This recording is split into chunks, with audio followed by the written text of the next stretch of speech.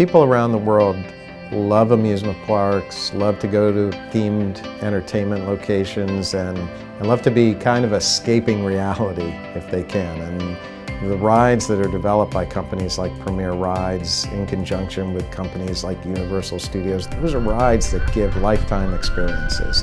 And whether we're in China or whether we're in South America, somewhere in Mexico or the United States, you have to be focused on safety. That's a paramount priority of being part of the industry is to really stay focused on safety. Premier Rides is a company that likes to focus on the leading edge of innovation. And to do that, you have to work with people who are on the leading edge. And those people tend to be the ones that have the highest expectations and also set the highest bars for themselves when it comes to safety. And those are the people that you will find involved with ASTM.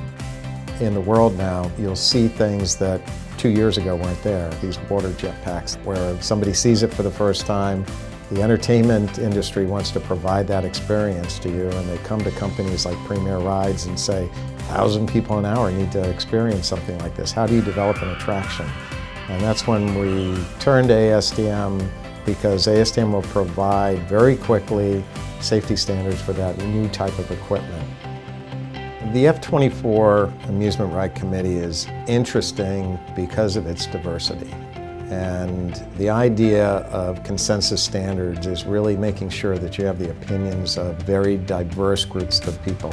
Imagine Universal and Disney sitting side by side and openly discussing their safety programs, their safety procedures. Consumer groups like the CPSC will participate and you'll have private safety groups that their information is very unique and so it's equally valuable to the information that you might get from a big operator. And it's only with all of these people's input do you really get that consensus approach to making a safety standard and producing rides.